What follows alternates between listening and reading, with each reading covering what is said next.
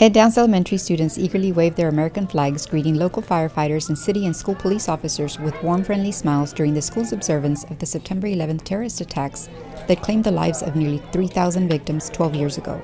Principal Nidia Espinosa, accompanied by the principal's cabinet student leaders and school administrators, explained the event's importance. Most of these kids, you know, weren't born when this happened, and I know that the parents and and uh, teachers, we still discuss, you know, uh, what happened on that day many years ago. And we want the students to remember, um, you know, not only the victims, but also our firefighters and our policemen that they work, you know, diligently every single day. Their, their lives are always put on the line for us. And we want our students to respect authority and respect their positions as policemen and, off- and uh, firemen. As the honorees made their way down the hallway, the school children began waving their flags and expressing their appreciation. Patriotic banners adorned the school, and students and staff presented the guest of honor with personalized thank you cards.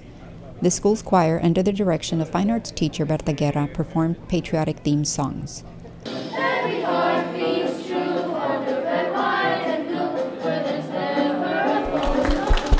Espinosa stressed the importance of observing the anniversary.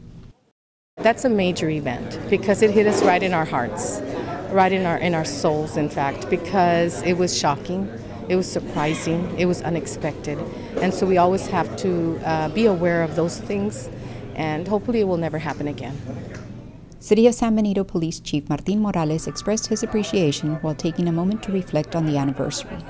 The incident on 9 11 it had a very great impact on our, in our country and the lives of everybody. And this is something that uh, will never go away. This is something that needs to be kept remembering uh, every year after year uh, just to remember to keep the spirit alive of all the sacrifices that everybody's made, all the public safety officials, uh, everybody involved, you know, everybody that lost their lives, the civilians as well. The city's fire department chief of operations, Raul Zuniga, echoed similar sentiments. We appreciate it and, and we uh, enjoy coming here and, and being with y'all.